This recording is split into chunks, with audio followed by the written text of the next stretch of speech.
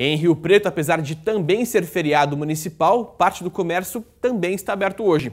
As lojas filiadas à Associação Comercial e Industrial da cidade e ao Sindicato dos Comerciantes podem abrir as portas como se fosse um dia normal. E os funcionários nem ganham nada para isso. Carnaval, Páscoa, Finados, Proclamação da República. Será que no Brasil tem feriado demais?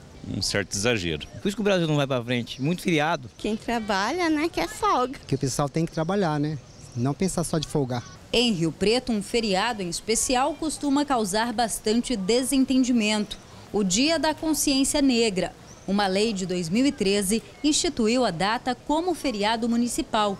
Mas depois de uma briga na justiça, uma sentença deu direito aos filiados do Sindicato do Comércio e da Associação Comercial Industrial de Rio Preto a trabalharem como se fosse um dia normal, pagando inclusive remuneração sem adicional de hora extra para os funcionários. Os feriados, ainda mais uma sequência deles, prejudicam demais as empresas, segundo o presidente da CIRP. Eles deixam de fazer o caixa necessário para cobrir as despesas comuns de final de ano. Se você tem menos oportunidades de estar com as portas abertas, recebendo clientes, você tem menos chance de vender e menos chance de fechar no azul o ano mesmo os prestadores de serviço, você perde fluxo de trabalho, você perde a constância. Depois de tanta polêmica, a Câmara de Vereadores de Rio Preto aprovou uma alteração na lei que instituiu o feriado.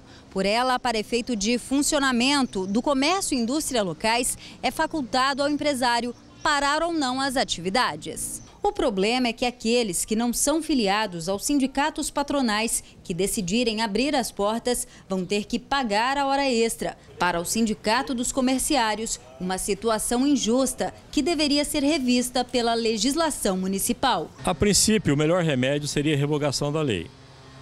É, ou uma outra lei que estabelecesse um critério de igualdade. É, fora isso, nós temos que cumprir aquilo que está determinado já e transitado em julgado por decisão judicial.